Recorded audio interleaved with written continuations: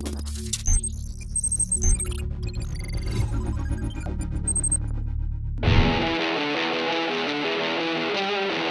been a long wait, but Suzuki Motorcycles has finally launched the Intruder in India at 98,340 rupees.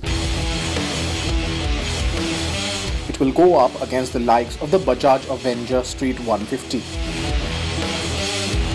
According to Suzuki India, market research indicates that there is a lot of demand for an affordable cruiser motorcycle with premium styling and big bike looks.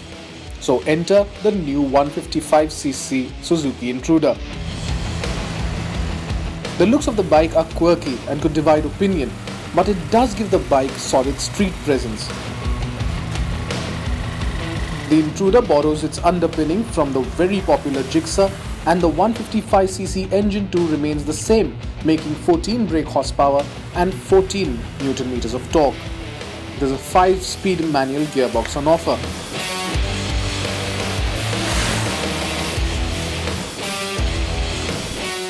The Intruder's design and styling is inspired from its much bigger engine Intruder siblings such as the M1800 and the M800.